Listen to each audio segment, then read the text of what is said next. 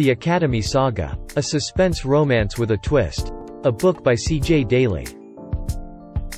Kate Connelly should be careful what she wishes for. Just 17, she already feels like she's suffocating. Since her mother's death, her father's basically checked out, so she's stuck raising her brothers by herself out in the New Mexico scrub.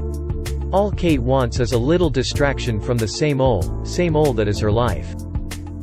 When two mysterious guys show up at the diner where she works, she thinks her wish has come true, until they start giving her a hard time. Like her life isn't hard enough. Something about them niggles her, but she brushes it off. She's never going to see them again anyway, right? Then they appear in an alley one night, to either rescue or kidnap her, she's still not sure which, before disappearing like figments of her imagination. Kate decides to put the bizarre encounters out of her mind. She has bigger problems to worry about. Like that elite military academy that's been pursuing her gifted little brother. When one of their cadets shows up at the high school, he creates instant pandemonium. And just happens to be one of those mysterious guys. Coincidence? Mama said there's no such thing. And to always trust her instinct.